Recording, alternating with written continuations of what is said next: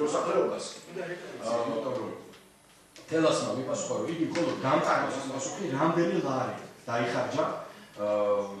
საქართველოს კონსტიტუციით, საქართველოს პარლამენტის რეგლამენტის თანახმად მე მაქვს უფლება დაუსვა ნებისმიერ თანამდებობის პირს კითხვები და მაქვს ასევე უფლება მივიღო პასუხები. 15 დღის ვადაში. 2004 წლიდან დღემდე საქართველოს პრეზიდენტისა და მთავრობის სარეზერვო ფონდებიდან ქალაქ თბილისის მერიისთვის გამოყოფილი თანხების ოდენობა და მათი მიზნობრიობა. თამარ მეფის სახელობის ხითან პრომეთეს ძეგლის მონტაჟისა და შემდგომი დემონტაჟის ღირებულება. ასევე რამოდენიმე თვეში ძეგლის გადატანის მიზეზები.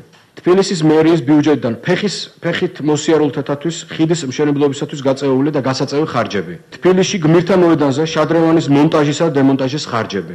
ვაკისა და საბურთალოს რაიონებში ახალი შემოვლითი გზის მშენებლობის საპროექტო ხარჯები. თბილისის მერის, ვიცე-მერის, მერის მოადგილეებისა და გამგებლების მობილური კავშირგაბმულობის ხარჯები.